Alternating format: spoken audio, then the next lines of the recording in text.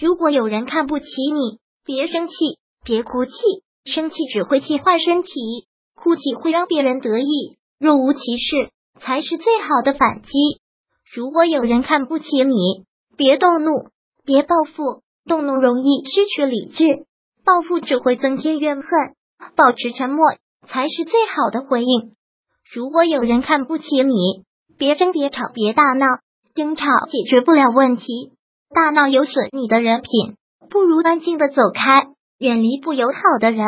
如果有人看不起你，不要急着去反击，你要明白人性复杂，不是你解释就有人相信，不是你反击就有人闭嘴，你要用行动向他们证明什么叫有眼无珠，什么叫低调谦虚。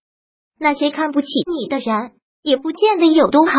真正有修养的人，从来不会小看人。只有那些心胸狭窄、目光短浅、没有素质的人，才会对人讥讽嘲笑。别为了琐事浪费精力，别为了小人动怒生气。你活着不是为了和他们较真，而是为了享受生活，而是为了感受人生。抛开那些负面情绪，忘记那些无耻小人。开开心心的做自己，记住了，人品端正，不怕人议论；心胸开阔，不怕人贬低。别和小人生气，别让自己伤心，化愤怒为动力，向小瞧你的人证明你优秀却低调，你成功不炫耀。